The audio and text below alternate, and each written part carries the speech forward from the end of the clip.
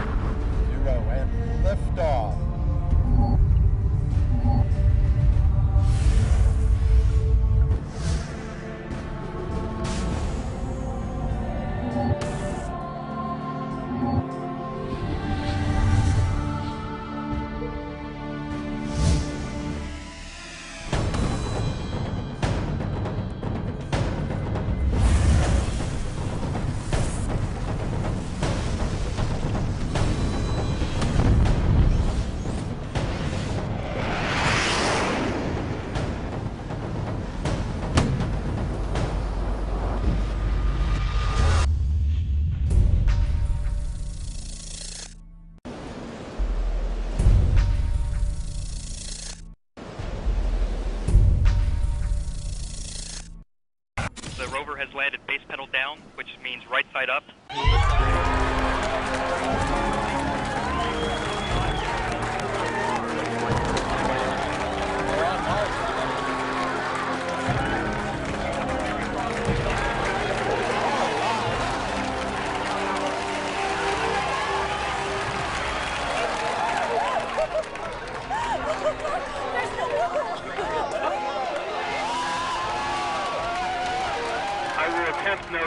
Look at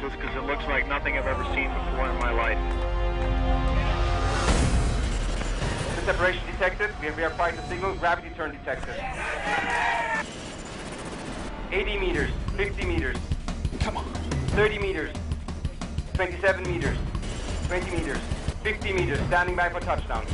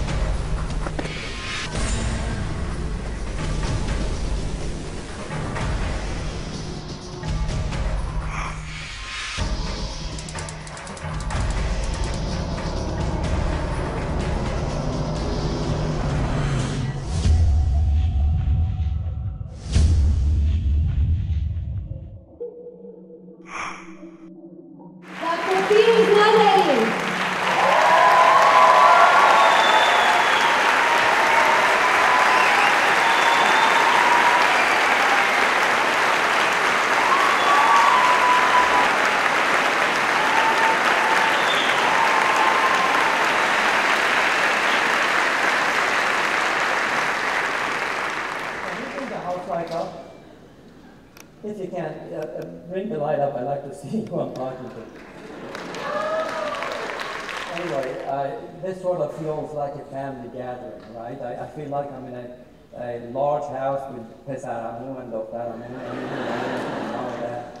So uh, it's, you know, it's nice to be here with all of you. I don't need uh, speeches, I chat. So this is a, well, I was going to say conversation, actually it's going to be a monologue. But, uh, you know, so uh, sit back, relax. I sort of feel like I'm among family and you know, I want to share a few things with you. Let me first do a sound check. Do we have any Trojans in the house?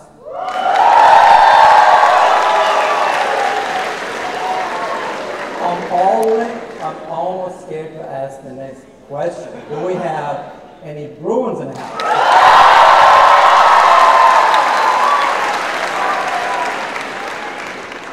Uh, I think we're a little bit outnumbered, but uh, you know, truly, uh, this is not a Trojan nation or Bruin nation. Uh, you know, we're all one family. This is all about the Iranian community. Um, and I'm very happy to be here with you.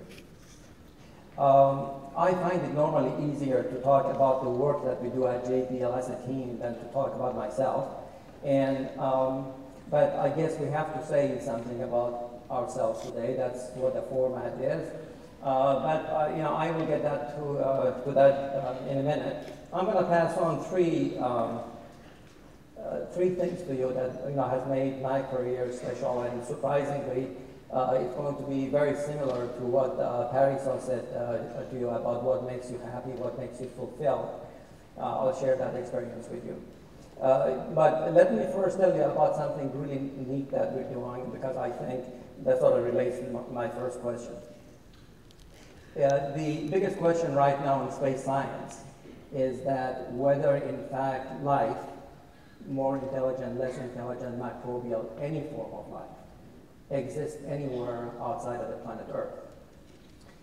So that then raises the question, what exactly, how did exactly life arise here on Earth, arose here on Earth, you know, and what was the genesis? And I don't mean genesis in terms of, uh, you know, like in a biblical term or a Quranic or religious term, right? So if you go back four billion years ago, when the Earth was about a couple of hundred million years old, there was no biology on Earth, right? So if there was a UCLA and if they were offering biology, uh, they couldn't have offered biology because the term wasn't even defined. There was no biology. Chemistry, on the other hand, yes. You know, this was a chemical world with all the, uh, you know, uh, matters and molecules tied up in inanimate objects. So the question is, how did we go from a purely chemical world to a biological world, to the first cell uh, without nucleus, and which over the uh, course of four billion years evolved to you know, you and us being here today in Royce Hall. We actually don't know the answer to that, right? There are some hypotheses, but there is no solid theory. How did a chemical world on Earth transform to biological? So however that is, the question here is, is it, you know, uh, is there life outside of Earth?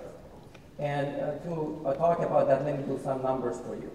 The, uh, actually, the, uh, um, uh, picture away, but the, the, the picture that you saw when I walked in, which was a, a spiral galaxy, our Milky Way sort of some, looks something like that. It's pretty large. It takes about 100,000 years for light to travel from uh, you know one end to the other end. Uh, and uh, our sun is located something like about 28,000 years um, light years from the center of the galaxy.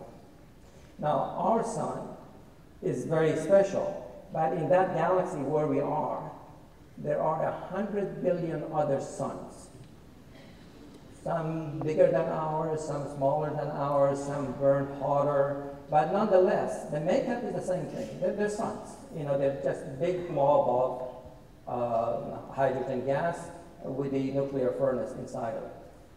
Now, our sun, there is something special about it. The special thing about our sun is that, of course, it has a system of planets going around it, and one of them is very special, right? Earth is not too close to the sun, so all the water would uh, evaporate. It's not too far away, so that all the um, water would freeze over. It's just about the right size, with the same, uh, with the just about the right um, uh, gravity to hang on to the atmosphere, so you and I have something to breathe. But it's not so big that gathers so much gas that becomes like Jupiter, a gas giant. So what we normally say, we say that Earth is in a Goldilocks zone, right? It's not too hot, not too cold, not too small, it's just right. It's in a habitable zone.